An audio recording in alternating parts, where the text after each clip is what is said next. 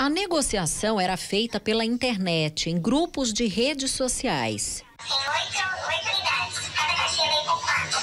Já tá aqui na minha mão, você falar que quer, eu despacho pra você. Do outro lado, parentes das vítimas se assustam com o preço. Tem como você cair esse preço um pouquinho não, porque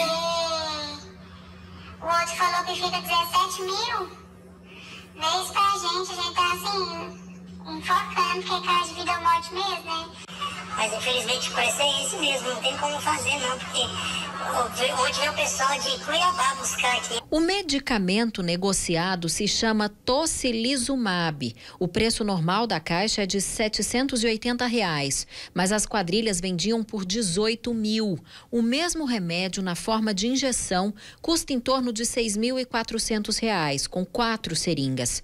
Já os criminosos não aceitavam menos que 48 mil reais pela caixa. A presidente da Associação de Medicina Intensiva Brasileira explica que o medicamento era usado em pacientes com artrite reumatoide, mas hoje já se sabe que ele também é eficaz em pacientes com Covid-19 em estado grave. Ele é usado, sim, nos casos mais graves de Covid e naqueles que estão piorando, que piora o quadro respiratório, a indicação do uso do tocilizumab. É um tratamento de alto custo, não é usado com muita frequência, ele é, ele é guardado para os casos mais graves e está em falta no mercado. Já se sabe que as duas quadrilhas que foram desarticuladas vendiam os medicamentos de forma clandestina para parentes de pacientes de Goiás, Distrito Federal, Mato Grosso, Mato Grosso do Sul, São Paulo e Pará.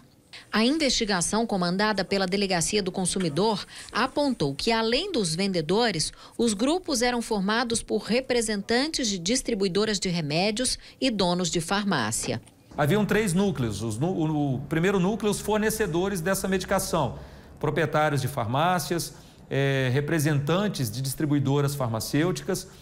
O segundo grupo era o grupo dos interlocutores, pessoas que, mediante o recebimento de comissão, em média 4 mil reais, compravam esse medicamento desses fornecedores e levavam até o vendedor final, que era aquele que fazia a negociação propriamente dita com os familiares. No carro de um dos investigados, a polícia encontrou sedativos usados para intubação de pacientes com Covid, que também estão em falta no mercado.